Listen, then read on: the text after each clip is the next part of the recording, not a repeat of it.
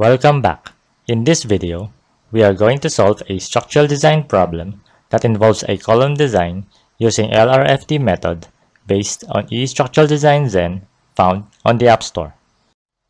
Design a reinforced concrete rectangular column using load and resistance factor design that carries an axial bending load at weak axis with axial dead load of 1,400 kN and axial live load of 2,700 kN with moment dead load of 140 kN meter and moment live load of 270 kN meter.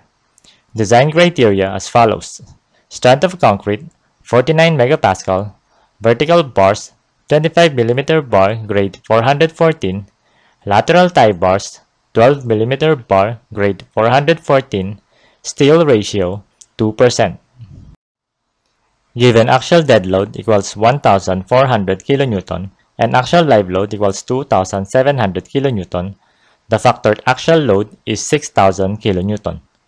Given moment dead load equals 140 kilonewton meter and moment live load equals 270 kilonewton meter, the factored moment is 600 kilonewton meter for an eccentricity of 100 millimeters at weak axis. Enumerate input parameters required.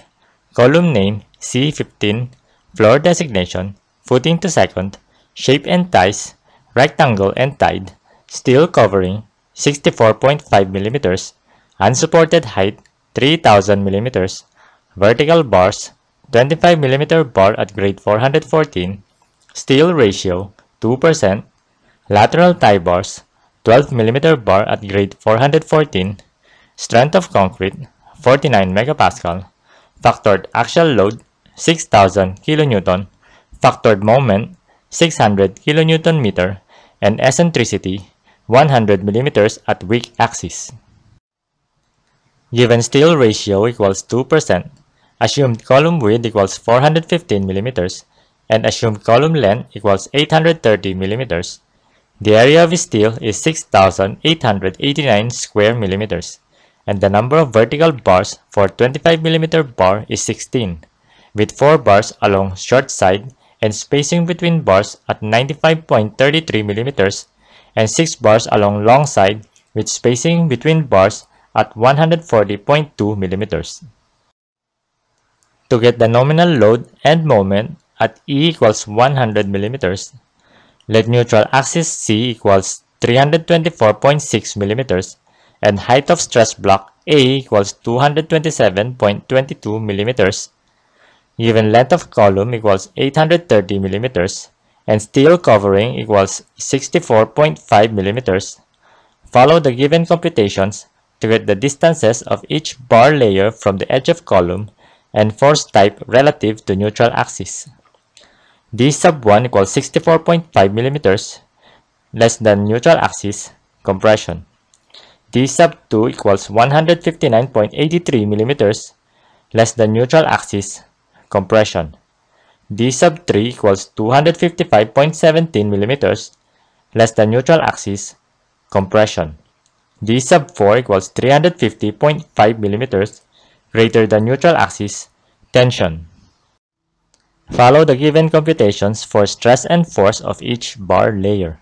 Stress at D sub 1 equals 414 megapascal with compressive force equals 1219.331 kilonewton.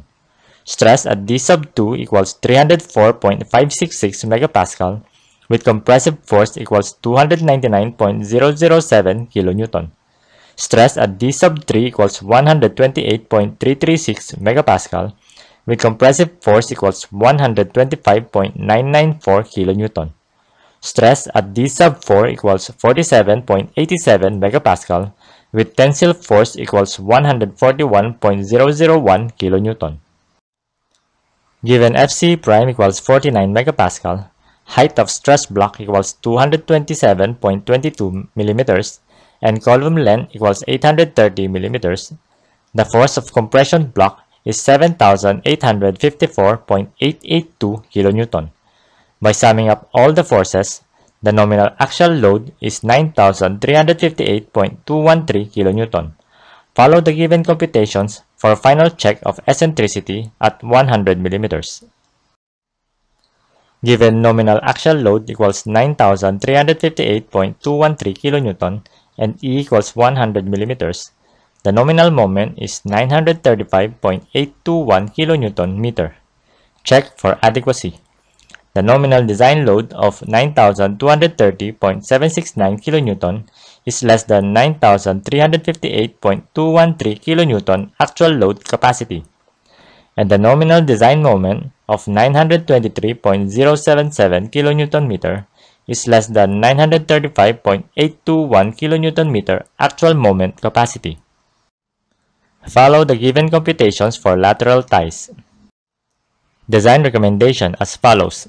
FC prime equals 49 megapascal, Fy equals 414 megapascal, column size is 415 millimeters by 830 millimeters by 3000 millimeters, vertical bars of grade 414, 16 pieces, 25 millimeter bar, lateral ties of grade 414, 12 millimeter bar, 4 sets spacing, 5 at 100 millimeters, 4 at 150 millimeters, rest at 250 millimeters. Thank you for watching. If you find this video helpful, please like, share, and subscribe to this channel.